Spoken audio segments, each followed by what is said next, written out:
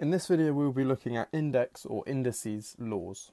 If you haven't watched or aren't fully confident with powers and roots, I recommend you go watch that first because that will give you a good understanding for all these rules here.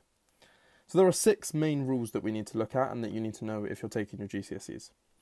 So the first rule is a fairly standard one you may have heard of already, but anything to the power of zero is one. So here we see 4x all to the power of zero makes one. That would be the same for example, 2 to the power of 0, 1. 4 to the power of 0, 1. Everything will be 1. Okay, our second rule. So when we have the same base, so in this case the base is x, if we're timesing those together, then the powers we can add up. So x cubed times x to the 4 will make x to the 7 because 3 plus 4 makes 7.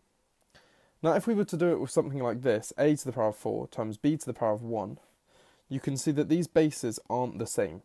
So we can't do anything with that. That will stay as it is. Okay, rule number 3. x to the 7 divided by x to the 3.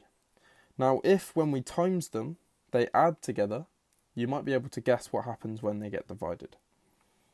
So x to the 7 divided by x to the 3. Again, we have the same base, so the rule is okay. 7 take away 3, we're going to get x to the power of 4. Now, another way of writing this, which is often quite common, is as a fraction, and that means the same as what the divide sign means. So it is just x to the 6 divided by x to the 2, and coincidentally that is going to give us x to the 4 as well. Okay, rule number 4. x to the 3 brackets to the power of 2. So x to the power of 3 squared. Now what happens here is we actually multiply those two numbers together. So simply it's just going to be x to the power of 6. And if we use this as an actual number, if we think about it, we've got 3 squared squared. So 3 squared is going to give us 9. And we've got 9 squared. Now we know 9 squared is 81. So using our rules, we can simply just do 2 times 2 for the powers, so we get 3 to the power of 4. And again, with practice or working out manually, we can see that is also 81. So this was just a bit of logic behind how the rule works to hopefully make it a bit easier.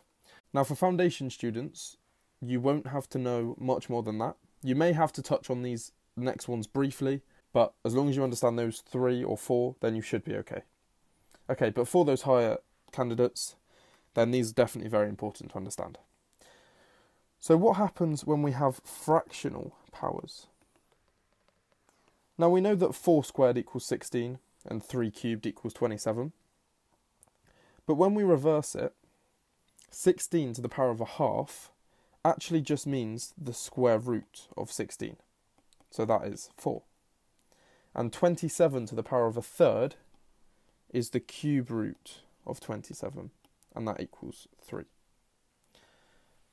Now, that is just an example, but here are the three main rules to know basically.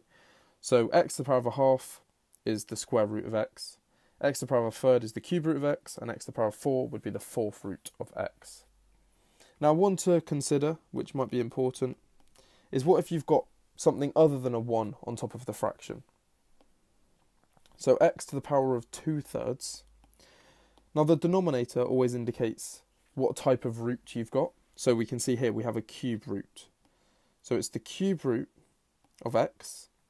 But because this isn't a 1, it's a 2, then we actually have to square all of that. So imagine you could break it up into x to the power of a third squared. And by our multiplication rules, we simply times them, and 2 times a third is going to give us 2 thirds. So that is how we come about doing that. Okay, and finally, what if we get a negative power?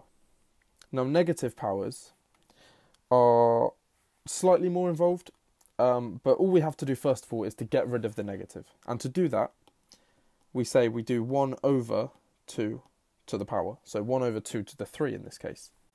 is going to be 1 over 8. Now that we know all those six rules, a very common, especially in the higher papers, a very common question to get is where they combine a lot of the rules. Now, at first, this looks horrible, it looks very difficult, but you can quickly see if we break it down, we have a rule here, we have a rule combined in the top, and then we have another rule in the denominator of the fraction. So, first of all, look at the first one x to the power of 2, all cubed. Now, from our rules, we know that we, when we've got brackets, we simply times the powers together. So, x to the power of 2 times 3 is going to be x to the power of 6. Now we have that times the power of 4, times x to the power of 4. And we want to divide that by the bottom bit there.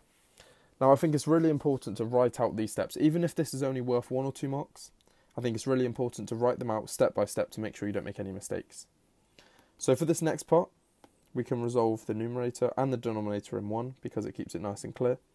x to the power of 6 times by x to the power of 4 we're going to have x to the power of 10 because remember our rule of timesing, we add the powers. And then divide by x to the power of 5 divided by x to the power of 2.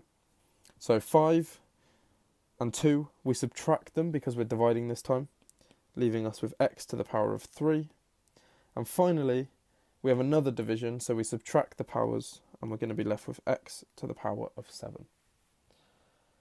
Now I hope that helped and I think I've covered everything there. So thank you for watching.